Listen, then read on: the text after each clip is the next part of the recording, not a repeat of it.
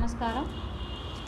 I'm doctor Layashree MPT orthopaedics mastered in physiotherapy specialised in orthopaedics so నా practice అంతా కూడా బెంగళూరులో five years ఎక్స్పీరియన్స్తో రీకూప్ రీహాబిలిటేషన్ సెంటర్లో జరిగింది. సో చాలామందికి చాలా డౌట్స్ ఉంటాయి.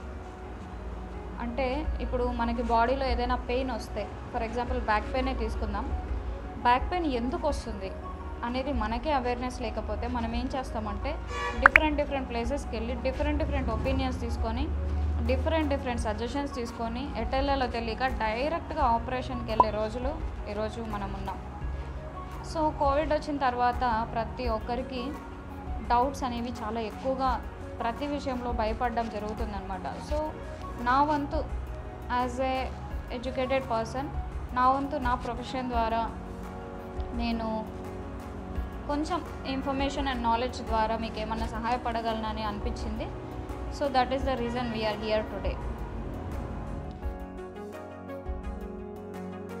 so back pain ఎందుకు వస్తుంది? సో బ్యాక్ పెయిన్లో చాలా రకాలు ఉన్నాయండి మెకానికల్ బ్యాక్ పెయిన్ అంటాము.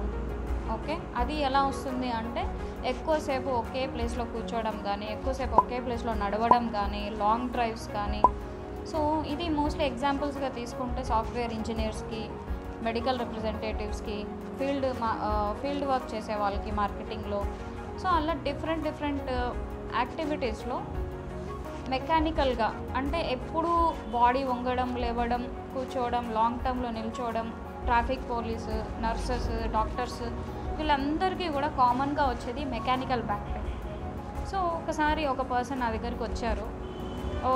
టూ ఇయర్స్ నుంచి తన ఒక తను ఒక సాఫ్ట్వేర్ ఇంజనీర్ టూ ఇయర్స్ నుంచి నాకు పెయిన్ తగ్గట్లేదు అని చెప్పారు. సో ఎక్కడ చెక్ చేసినా కూడా తన ఎక్స్రే అంతా బాగుంది. ప్లస్ ఎవ్రీథింగ్ ఈజ్ ఫైన్ తనకి కాలు లాగడం తిమ్మిరి రావడం ఇలాంటి ఏమీ లేదు.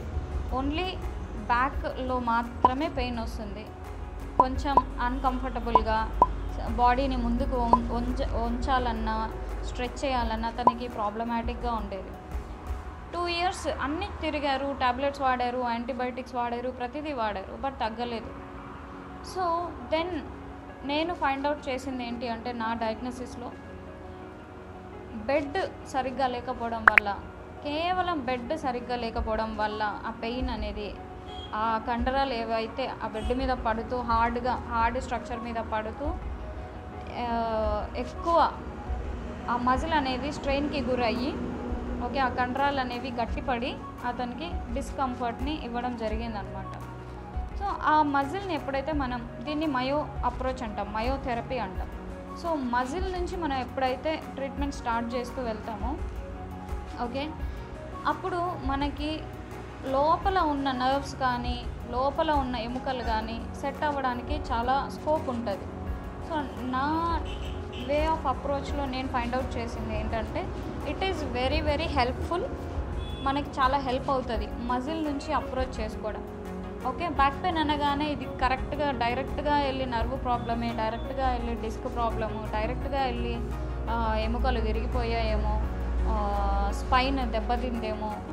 ట్వంటీ ఫైవ్ థర్టీ ఏజ్ గ్రూప్లో కూడా మనం ఇలాంటివన్నీ చూస్తున్నాం సిమ్టమ్స్ ఇప్పుడు. సో మనం భయపడడానికి ఏమీ లేదు. మెకానికల్ బ్యాక్ పెయిన్ అంటే మనము ఎప్పుడైతే ప్రొలాంగ్డ్ ఒక స్టేట్లో కూర్చుంటామో ఆ పర్టికులర్ వర్క్ చేసే కండరాలు మాత్రం ఎక్కువగా పనిచేసి స్ట్రెయిన్కి గురవ్వడం జరుగుతుంది. దీనివల్ల మనకి మెకానికల్ బ్యాక్ పెయిన్ రావడం జరుగుతుంది. పర్టికులర్గా ఒక పాయింట్స్లో మాత్రమే రావడం జరుగుతుంది. అది బటక్స్లో కావచ్చు హిప్స్లో కావచ్చు లేదా బ్యాక్ లోవర్ బ్యాక్లో కావచ్చు సెంటర్లో కావచ్చు ఓకే అప్పర్ బ్యాక్లో కావచ్చు. ఇలా పారాస్పైనల్ మజిల్స్ అంటాం. సో స్పైన్ ఇలా ఉంటే అటు సైడ్ ఇటు సైడ్ ఇక్కడ మీరు చూడొచ్చు.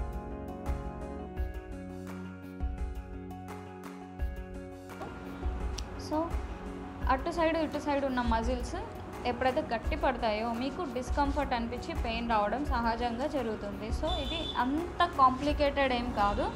It this is very very common common అంటే కామన్ పెయిన్ దీన్ని మనము కొద్ది రోజులు. ఇప్పుడు కోవిడ్ టైమ్స్లో ఫర్ ఎగ్జాంపుల్ మీరు లాక్డౌన్లో ఉండిపోయారు ఎక్కడికి వెళ్ళట్లేదు వెళ్ళలేకపోతున్నారు మీరు ఇంట్లో ఏం చేసుకోవచ్చు అనేది నేను చెప్పగలుగుతాను. ఫస్ట్ బెడ్ మార్చాలి. అలాంటి టైమ్స్లో బెడ్ హార్డ్గా ఉందా లేదా అనేది ఫస్ట్ మనం చెక్ చేసుకోవాలి. దానివల్ల నాకు పర్టికులర్గా ఒకే స్పాట్లో పెయిన్ వస్తుందంటే ఫస్ట్ బెడ్ చెక్ చేసుకోవాలి.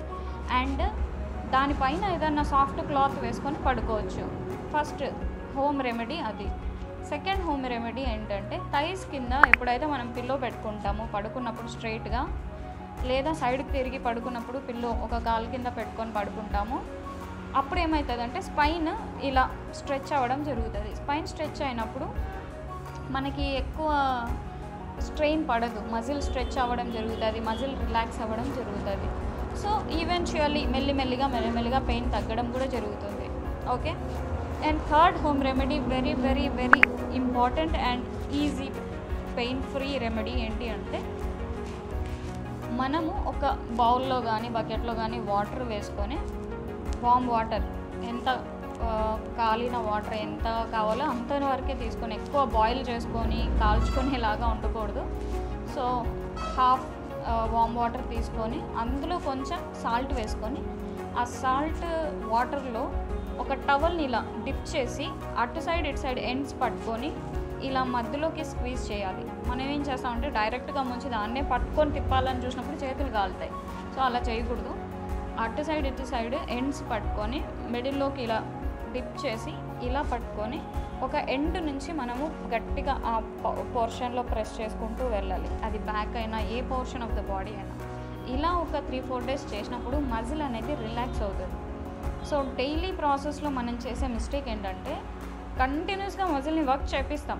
బట్ దాన్ని అట్లీస్ట్ ఫ్యూ సెకండ్స్ కూడా మనం రిలాక్స్ చేపియం దానివల్ల మనకి ఎక్కువ పెయిన్ రావడం అనేది జరుగుతుంది. సో అర్థమైంది కదా అండి? బ్యాక్ పెయిన్ అంటూనే వెంటనే సర్జరీకి వెళ్ళాల్సిన అవసరం లేదు. దాంట్లో చాలా రకాలు ఉన్నాయి మనం ఇంకా ఇంకా డిఫరెంట్ వీడియోస్లో మనం ఇంకా డెప్త్గా వెళ్దాము. So first very very common pain is mechanical back pain ఇది ప్రొలాంగ్డ్ సిట్టింగ్ వల్లనో ప్రొలాంగ్డ్ స్టాండింగ్ వల్లనో వస్తుంది. ఓకే అండ్ దీన్ని మనం సిమ్టమ్స్ ఎలా ఉంటాయి అంటే తిమ్మిర్లు రావడం ఇలాంతా ఏం ఉండదు. లోకల్గా ఒక ప్లేస్లో మాత్రమే హార్డ్గా అవి వర్క్ చేయడం వల్ల హార్డ్ సబ్జెక్ట్కి హార్డ్ ఆబ్జెక్ట్కి ఎగెన్స్ట్గా ఆపోజిట్గా వర్క్ చేయడం వల్ల అవి ఎక్కువగా స్ట్రెయిన్ అయ్యి అలా పెయిన్ వస్తుంటుంది. అంతే అంతకు మించి ఏమీ లేదు. Okay so mechanical back pain software వాళ్ళు ఏం చేసుకోవాలనేది ఎర్గోనామిక్స్. అది టోటల్గా కంప్లీట్లీ డిఫరెంట్ టాపిక్. అంటే ఆఫీస్లో వాళ్ళు ఎలా కూర్చోవాలి ఎలా నిల్చోవాలి ఇవన్నీ కూడా. ఓకే? మెకానికల్ బ్యాక్ పెయిన్ వచ్చినప్పుడు మీరు మజిల్ మీద ఎక్కువ కాన్సన్ట్రేట్ చేయాలి. ఓకే? సో దాని స్ట్రెచెస్ ఎలా చేయాలి దానికి సొల్యూషన్ ఏంటి అనేది నెక్స్ట్ వీడియోలో నేను మీకు హెల్ప్ చేస్తాను. సో ఈ ఇన్ఫర్మేషన్ బట్టి మీరు కొంచెం రిలాక్స్ అయ్యారని నేను అనుకుంటున్నాను. okay? So i hope this video is helpful for you and see you again in the next video.